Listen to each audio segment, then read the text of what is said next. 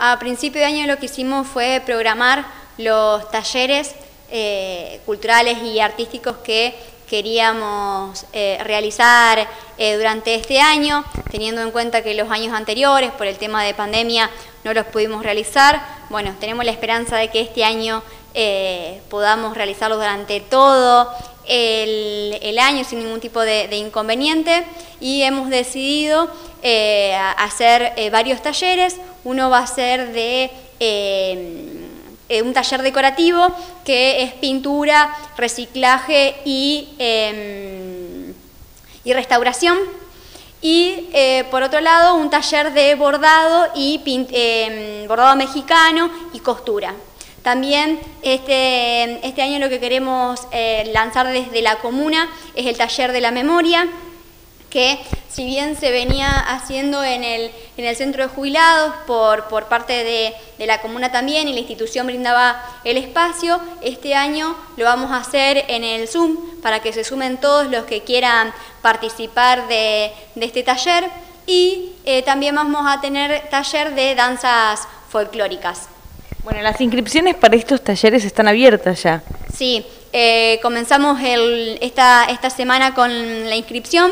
El objetivo es que todo aquel que esté interesado pueda acercarse a la comuna o llamar por teléfono hasta pasadas las 12 del mediodía hasta principios de marzo, porque la idea es comenzar a mediados de marzo, ya 14, 16 de marzo, comenzar con, estos talleres, pero tener unos días previos para poder cerrar el tema de eh, días y horarios que ya están previstos, pero ver el tema de los cupos, eh, por si tenemos que abrir algún otro día y horario, si es que, si bien son con cupo limitado, vamos a tener ahí una cierta flexibilidad para ver si, llegado el caso, es necesario eh, poner otro día y horario, lo, vamos a hacer, considerando que tenemos que garantizar ciertos cuidados eh, de, distanciamiento, de higiene, porque la pandemia todavía, todavía sigue. Flor, bueno, un poco lo, mencionaba recién.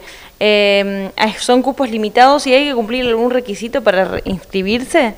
Los cupos son limitados porque, como te decía, hay ciertos cuidados que todavía tenemos que, garantizar, pero llegado el caso se verá si se hace algún otro, otro tipo de, curso eh, en otro día y, en, otro, en otro horario. Y para inscribirse no, simplemente eh, llamar a la, a la comuna para que a nosotros nos dé un margen para poder prever, como te decía, la cantidad de, alumnos que va a haber en cada taller. ¿Son de carácter gratuito o de cuánto es la cuota que se debe abonar? Se pide una, cuota mensual eh, módica, digamos, simplemente para poder hacer compra de ciertos materiales por parte de, los docentes.